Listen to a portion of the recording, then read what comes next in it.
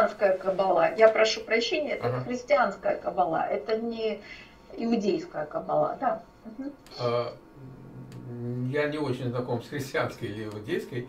Дело в Ну, том, что... это Элифас Леви, представитель христианской кабалы. Элиф- да, несмотря на то, что это псевдоним, э, это Ну не, да. это Аббат не, Кон- Констант, да. да, это не его имя. А, Да. э, Эльза, ну вы упомянули о том, что вам интересна нумерология. Вот мне она тоже интересна.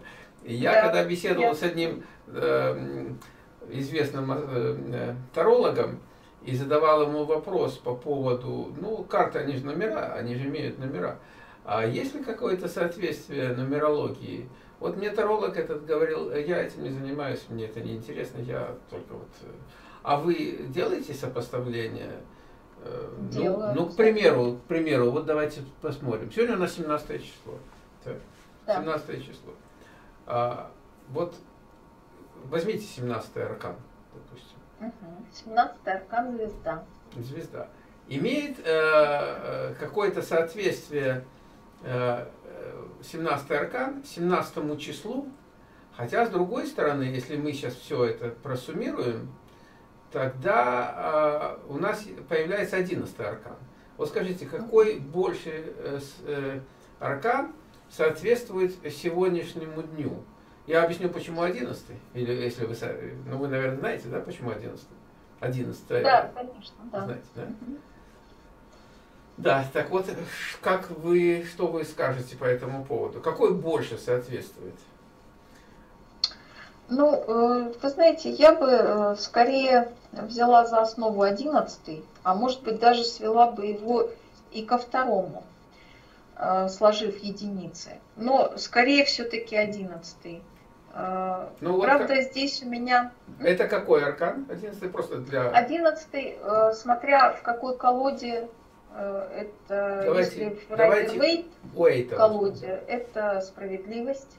А если в марсельском Таро это сила, Мгм. но я, учитывая порядок Райдер-Вейта, э, который он, э, под- ну не подогнал, э, неправильное слово, который он составил в соответствии с порядком знаков зодиака, я учитываю его.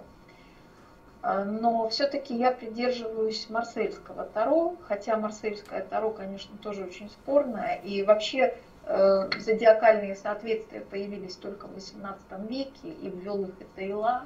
Э, ну, может быть, я не совсем права, де Жаблен э, до Этейлы. Э, Но Этейла уже э, очень четко обозначил, э, он переделал колоду и обозначил. Поэтому немножко сложно тут э, говорить о нумерологии арканов, ведь даже есть предположение, что старшие арканы не имели ну- номеров первоначально, и их можно было переставить э, на какое угодно место. Но сейчас, да, допустим, э, 11 аркан, если мы берем Райдер Вейта, это справедливость. То есть это равновесие, это какой-то день, э, достаточно, несмотря на то, что день равновесия, э, э, справедливость, она всегда достаточно жесткая. История этого аркана или архетип этого аркана связан с Фемидой, богиней правосудия, и также с эм, притчей о Соломоне, который помог решить, как законник, двум женщинам вопрос о их ребенке, чьим ребенком этот, это дитё, дитя, вернее, простите, является. А, Они ссорились очень сильно, перетягивая этого ребенка, и Соломон сказал, ну тогда давайте его разрубим пополам, и э, он, ну, ка- каждая возьмет по своей половине. Тогда одна женщина сказала, нет, уж лучше э, пусть берет моя противница. И Соломон сказал, ага, значит, вот это и есть мать, потому что она пожалела этого ребенка. Э, Справедливость, она всегда достаточно жесткая, и в ней есть и справедливость земная, и справедливость небесная, она всегда ограничивает и урезает какие-то вещи. Звезда, конечно, дает надежду, путеводная звезда, хотя, опять же, в системе Этрилы она говорит о плохой погоде и так далее. ну, вообще она не является благоприятной картой. Справедливость, она является аристотелевской добродетелью, одной из добродетелей, которые учтены в старших арканах Таро. И вот э, легенда с ней связанная, да, о предположительном разрубании ребенка. И Фемида, которая судит по э, тяжести человеческой души. То есть сегодня э, много, возможно, много кармообразующих поступков. Я знаю, что вы любите это понятие угу. кармы. И э, я учитываю нумерологию дня, считаю, что он скорее относится к одиннадцатому аркану. Или второй, вы говорили. А? Или второй? мы сведем... Или второй. Или второй. Или второй. А второй? Или второй. Второй э, аркан, ну, конечно, вы мне задали немножко каверзный вопрос, потому что я не очень э, обращаю внимание на нумерологию дня в отрыве от всего. Э, надо, конечно, со своими всегда какими-то данными это сочетать, потому что абстрактно день вот такой, да, но у каждого индивидуально он будет совершенно другим. Второй аркан – это верховная жрица, которая сидит у врат храма угу. и держит, соблюдает тайну, держит на коленях э, свиток Торы. Папеса. Папеса, да, верховная жрица. Угу. Но здесь она верховная жрица Уэйта. Папеса, она опять же в марсельском Таро скорее. Да. Э, она имеет э, под собой тоже историю интересную, э, которая связана со строительством храма Соломона, самого первого, когда после окончания работ э, перед храмом сидел человек, и в одно ухо ему мастера говорили свой пароль, а в другое подмастерье, и получали расплату за свою работу. И, собственно, вот это человек, который еще и раздает плату да, э, в абстрактном и прямом смысле этого слова. Э, поэтому с, э, со справедливостью в этой карте есть определенное пересечение. Справедливость, она отсекает лишнее, а Верховная Жрица раздает только положенное. И сегодняшний день, безусловно, он какой-то, ну, если говорить обо мне, то он достаточно такой тревожный, сложный. И действительно, сегодня было отсечение лишнего. И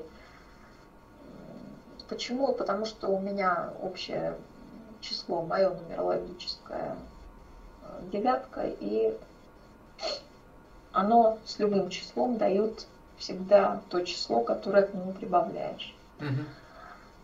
И да, я почувствовала этот день так. А вот э, смотрите, э, вот у вас э, общее число девятка. Ну, девятка, с одной стороны, вот люди, которые рождены, скажем, ну, для начала 9, 18, 27 числа, это люди, которые рождены по ведической системе, нумерологии, там, астрологии, это марсиане.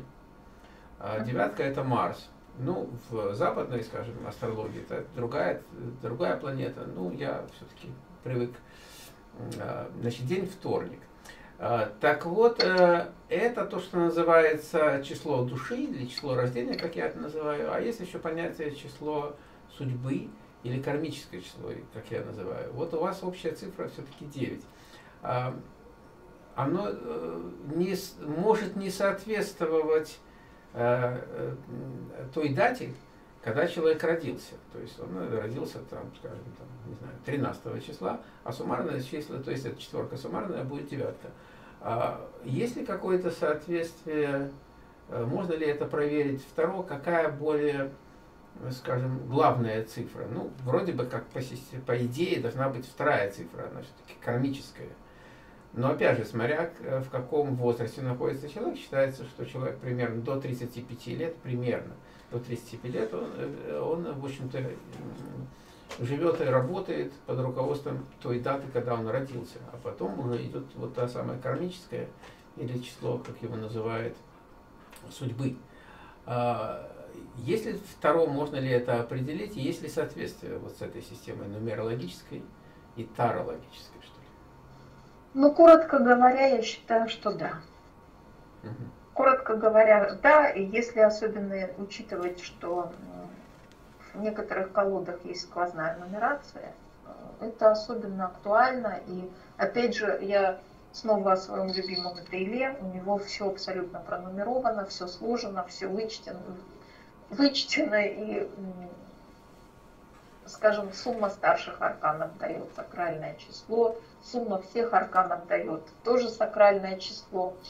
И в общем, куда ни кинься, везде нумерология очень хорошо работает в колоде, она очень хорошо нумерологически продумана. Э, да, по ней можно э, какие-то вещи такого рода определить. И есть э, мастер Алиция Ахшановская, которая составила так называемый горшок нумерологический. Она записывает дату рождения человека, она таролог, записывает дату рождения человека и день рождения, днем рождения управляет один аркан, месяцем рождения другой, соответственно, годом третий. Она из этого делает определенные выводы, суммы, там складывает, вычитает и э, сопоставляет с арканами. Э, я не могу сказать, что это идеально работает, но идеально не работает ни одна система. Нет правил без исключений. Но это интересно. Допустим, кто-то очень любит эту систему. Я ею не пользуюсь, хотя она очень интересная. Но меня, допустим, волнует, да, Феликс Петрович Вильдемуров, то же самое. Но у него другая своя система. Он рассматривает большее количество арканов старших э, в работе, ну, в колоде, как бы он считает, что их больше и тоже по-другому рассматривает э, число судьбы, число кармы и так далее. Я вообще люблю работать с младшими арканами, потому что из их чисел видно, в каком э, человек находится отрезке жизни. Например, если у него очень много пятерок, ну три хотя бы, или даже две, он находится в состоянии конфликта э, с внешним миром. Э, он растет через этот конфликт и через боль. Если Прости, у него много тузов... Простите, э, да. много девяток, много тузов. Вы имеете в виду все-таки карты, да? Потому что да, я, я имею в виду младшие арканы. Да. Младшие арканы. Если у него есть в раскладе много пятерок, у него много сейчас боли, конфликтов и так далее. Он растет, он угу. развивается. Ну, девяток, да, он за, не застыл, а, скажем, обрабатывает полученный ранее опыт. Угу. Потому что все девятки младших арканов соответствуют старшему аркану отшельник, который находится в колоде Таро под э, номером 9. И, и вот так. Ясно. А, ну вот смотрите, э, вы сейчас упомянули, э, давайте, наверное, последний вопрос я вам задам, поскольку да. уже время, и вы после рабочего дня. Это у нас да. только еще э, полдень. А у вас уже э, Ну, мы тоже уже, можно сказать, после рабочего дня, несмотря а, на то, Да, что да, у меня было много программ, которые провел, но у меня очень много энергии, поэтому я держусь. А, э, Эльза, вот э, да. есть одна система, есть другая система, а, но есть еще человек, который пользуется этой системой, и это профессионал. И он обладает не просто техническим э, пониманием и системой чтения э, карт, а он еще и маг. А, так вот, э, наверное же вы, коим вы являетесь, а, вы выбираете, наверное, ту или другую систему в соответствии со, своим, со своей интуицией, что ли, можно сказать. Ну, я выбираю ту систему, которая синхронистична с моим пониманием мира. Нет, ну данный вопрос, это, ну, я не говорю в общем и целом. А я говорю о том, что человек приходит с каким-то конкретным вопросом. А, вы же э, можете пользоваться и, опять же, нумерологией, там вы можете пользоваться да. э, астрологией, астрологией какой-то э, колодой, э, Уэйта, неважно. Ну вот что, или вам трудно ответить на этот вопрос, потому что все индивидуально. От чего зависит выбор инструмента, э, которым вы пользуетесь для того, чтобы дать ответ э, тому человеку, который у вас задает этот вопрос?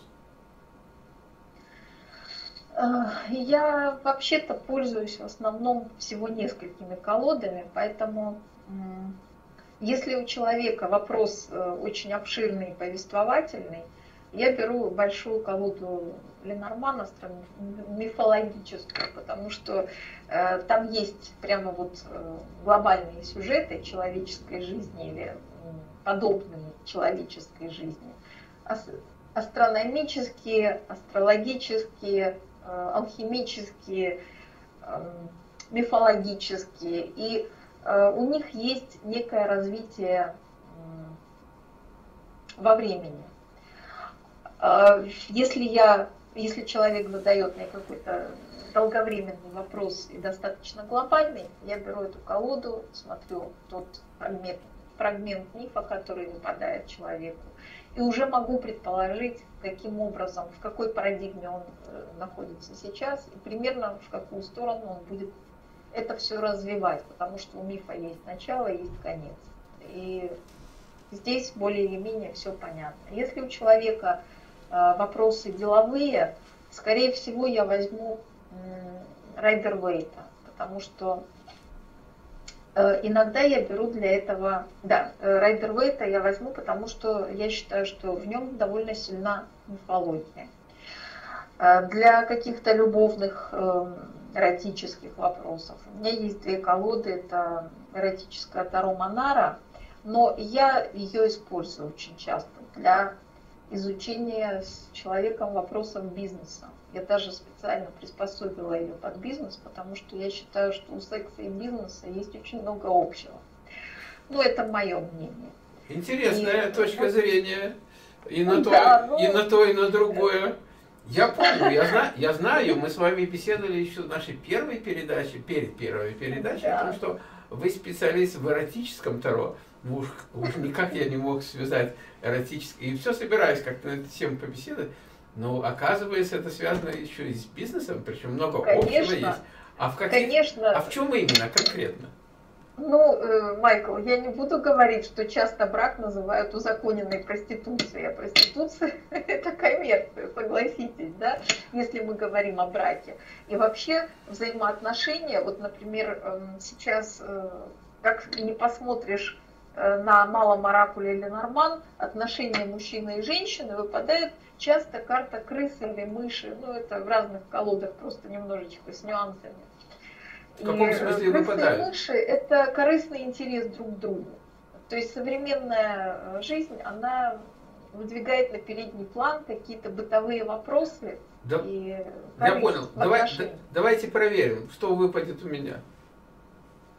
Вы имеете в виду Тару Монары или... А я не знаю, вам видней. Вы специалист. Ой. Вы знаете, э, что просто, выбрать. Просто вы тогда озвучите вопрос. У меня это Какое у меня сейчас... отношение? Какое у меня отношение? Э, э, какое у меня отношение? У вас отношение к сексу какое? Или нет, мы сейчас говорим, мы сейчас говорим не к сексу, а мы сейчас говорим, наверное, отношение к жене. Или там э, с, а, к любовнице, к женщине, да?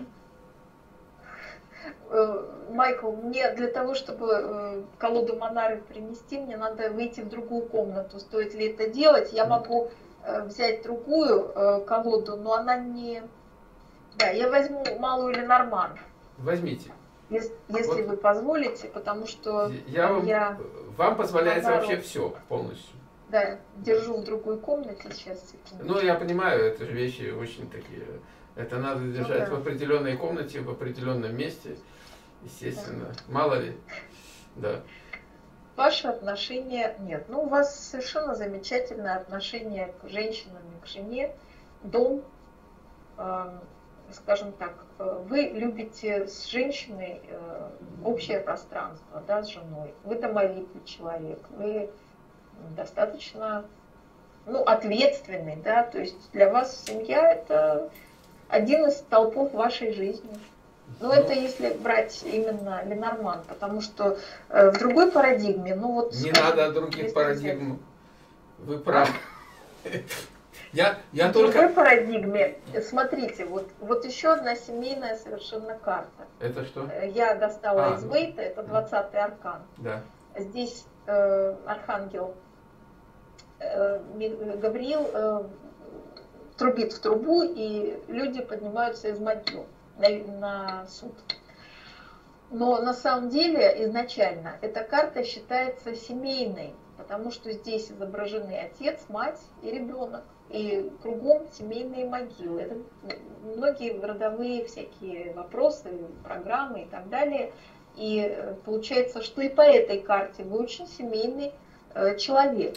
Но вот если мы, например, возьмем Таро Что-то вы со всех сторон меня. Клинта, Да мне уже хватит, да, чтобы ну, показать. я уже заканчиваю. Это Это, та- эротическое Таро. Это, вот это эротическое Таро? Э, Это, э, да, эротическая колода Клинта, но там- вам выпала абсолютно не эротичная карта. Вот я и смотрю, что-то я какой-то совсем не эротичный.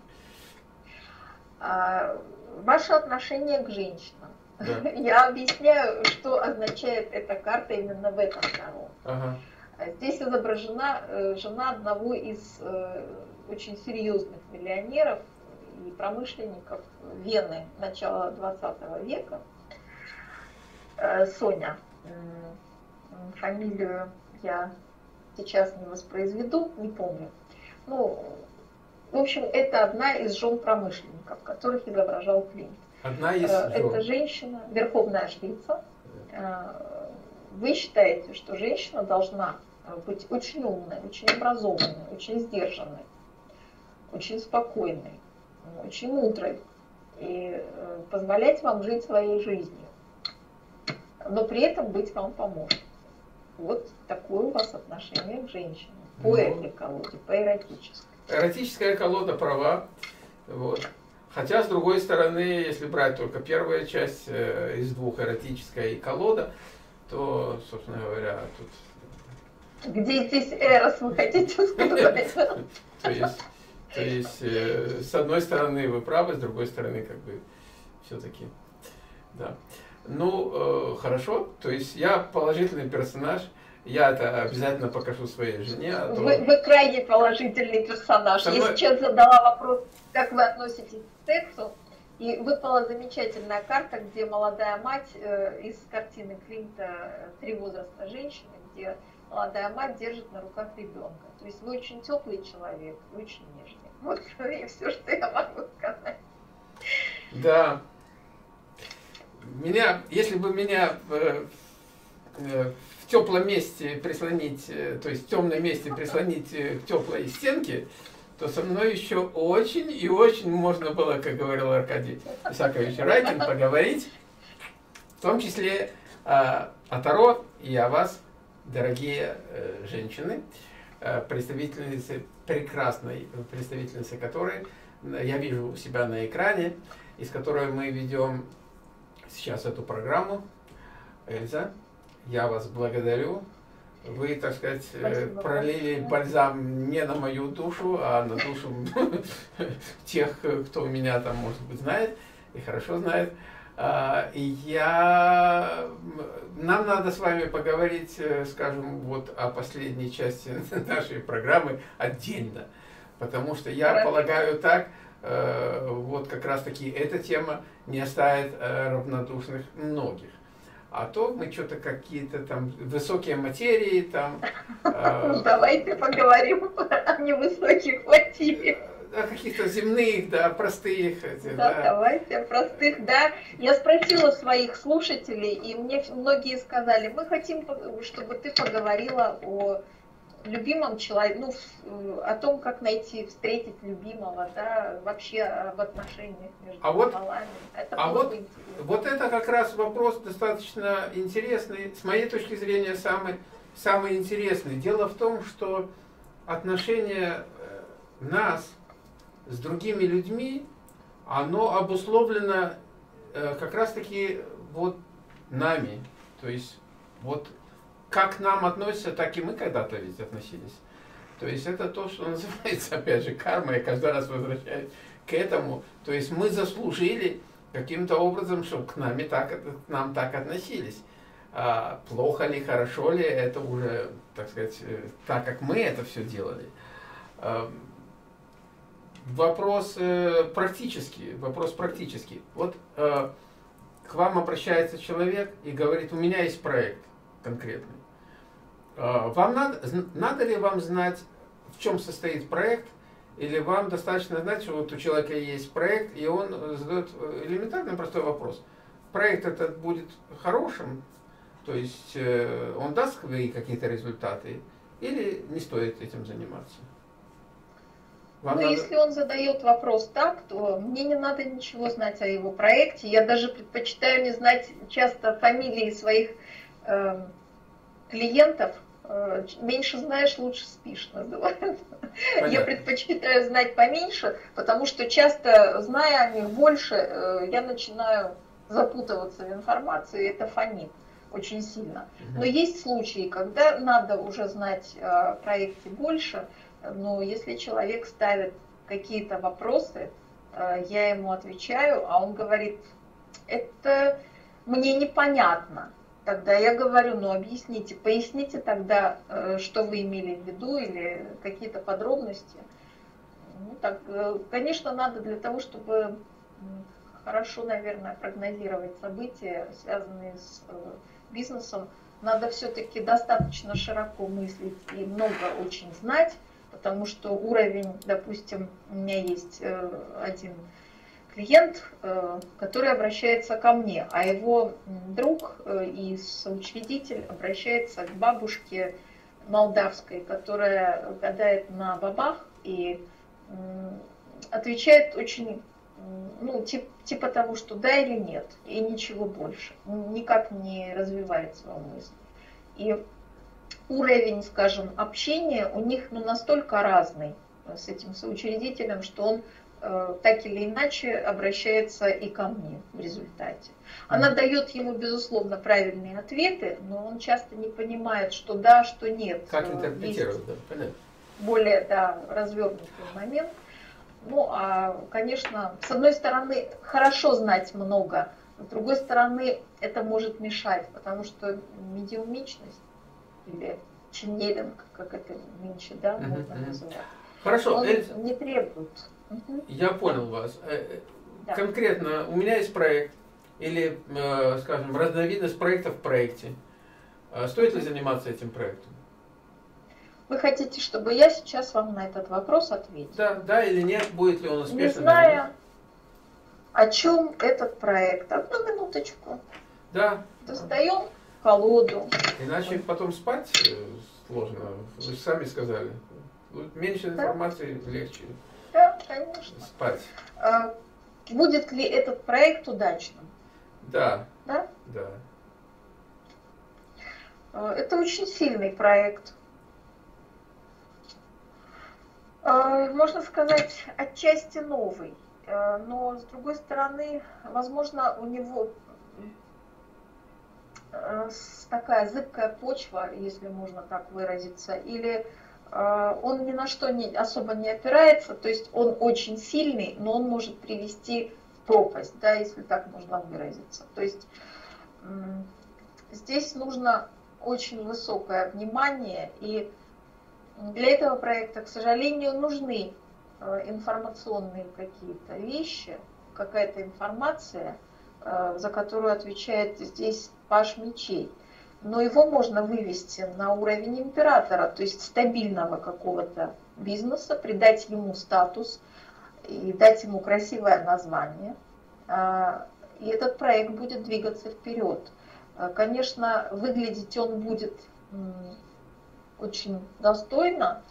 А, по поводу его прибыльности мне сказать сложно, но он будет достаточно прибыльным. Это шестерка жезлов, да, а, скорее всего, в нем не ожидается, не предполагается больших неприятностей, но из этого проекта вовремя нужно будет либо уйти, либо его каким-то образом переформатировать или передать его, развить и, скажем, э, в том виде, в котором он начинался, передать более молодым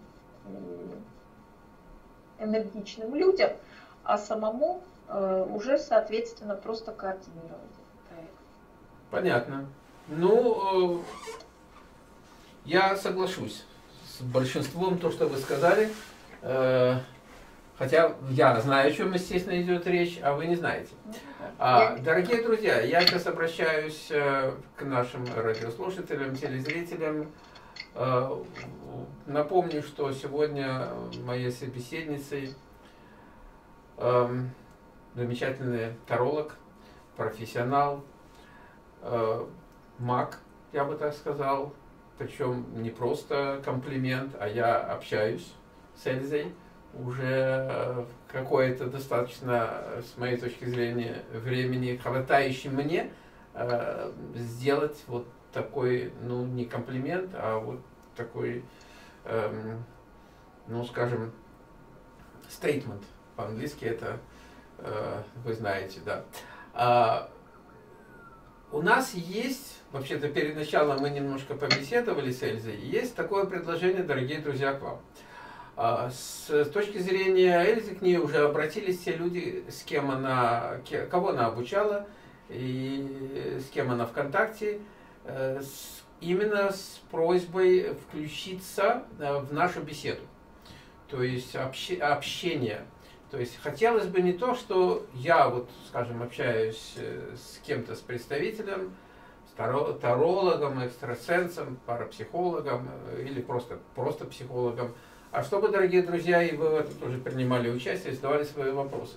Дело в том, что, а, ну, по договоренности, допустим, со специалистом, наверное, в какой-то группе мы можем сделать какую-то такую группу, где будет не только Э, Эльза, будет еще другие специалисты в этой же сфере. Э, люди, которые пришли, могли бы задать вопрос и узнать точку зрения одного специалиста и другого. Это было бы, мне кажется, интересно. Но не знаю, можно это сделать группой, может быть, и закрытой. А, вы ведь обучаете, правильно? И причем достаточно серьезно. Вы обучаете методике гадания на Таро или вы обучаете чему-то еще другому? Я многому обучаю. Я обучаю методики гадания на Таро, на оракулах, на ну, 5 или 7 колод, э, которым, с которыми обращаться я обучаю. И я обучаю гаданию на кофе, на кофейной гуще. Э, когда-то да. даже и на бабах тоже, кстати, но я сейчас этим не занимаюсь, потому что каждую тему надо постоянно поддерживать, Э, любой из эм, инструментов надо постоянно нарабатывать для того, чтобы он хорошо служил. А переключаться все время с одного на другое э, немножечко теряется поток энергетический, информационный. Ну вот, да, я Понятно. Я просто серьезно. к тому, что если поступать будут запросы э, от людей, которые хотели бы чему-то научиться, Э, то можно было бы, я полагаю, так э, организовать какой-то вот такой вот, ну, не знаю, какую-то такую, может быть, школу, если у Эльзы найдется время, или просто уже в рамках той школы, которую она преподает, просто подключается совсем другая аудитория. Ведь возможности интернета поистине не ограничены, количество людей, которые присутствуют э, на уроке, они тоже не ограничены. Но чем больше людей, я так полагаю, будет присутствовать, Э, тем э, стоимость, возможно, будет меньше, потому что, естественно, мы же не только получаем и все на халяву, как говорится, мы получаем, мы же тоже должны что-то еще и делегировать в ответ, отдавать. Хорошо, сейчас я свое сердце отдаю, Эльза, вам, благодаря вас за эту совершенно незабываемую программу. И очень интересно, поскольку это не просто технические какие-то вещи, а это меня больше привлекает вот психология, э, и не обязательно Таро, а психология человека, где вот мы, внутреннее наше Я, присутствуем во всем этом процессе познавания, познания мироздания, познания самого себя. Спасибо. Спасибо вам большое. Вам и э, в завершение я просто ну, полушутку, полусерьез Э, если вдруг захочет кто-то обучаться у меня, я же могу приехать и к вам. Это было бы совершенно замечательно. Мы, кстати, приглашаем все желающие приехать. Если не приглашали бы, я бы сама предложила. А, нет, да. нет вопросов. Ну, э, вот это интересный момент. Мы об этом будем говорить. У меня, вообще-то говоря, масса вопросов, но дело в том, что мы сейчас беседуем в эфире. Да, все. Даже все, больше, все, и все, у вас уже просто да. время. Я-то могу, у меня сил хватает. Да, мне было очень приятно, и я благодарю слушателей за внимание и вас э, за прекрасное проведение передачи, за то, что вы меня пригласили. Спасибо, намасте. Намасте, спасибо.